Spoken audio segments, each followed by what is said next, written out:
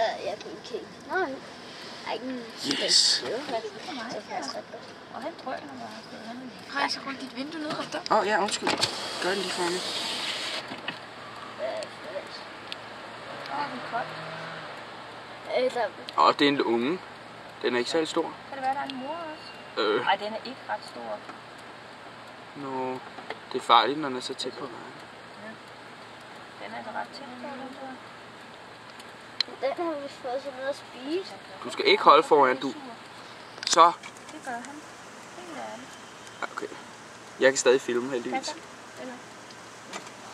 Se, nu skræmte han den væk. Dygtig. Godt klaret. Ja, men nu går den.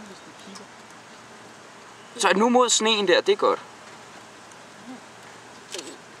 Jeg tror, den gør. Den er tynd. Det, nej, den rammer på sin mor lige om lidt. Og så kommer den og Jeg synes, den er ret tynd.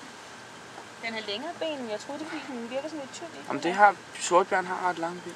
Den virker ikke så pelset. Hvor gammel Jamen, tror du, den tag er? missil fri. Hurtigt. Hvor gammel tror du, den er? To år. Er den ikke cirka ligesom den første, vi så? Nej, ikke den, vi ramte.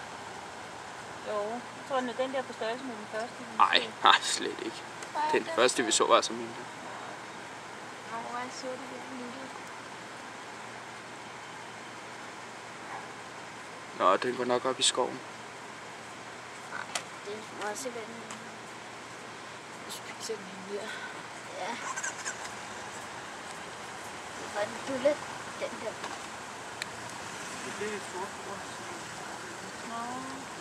Ja. Det var fedt. Nu kommer den.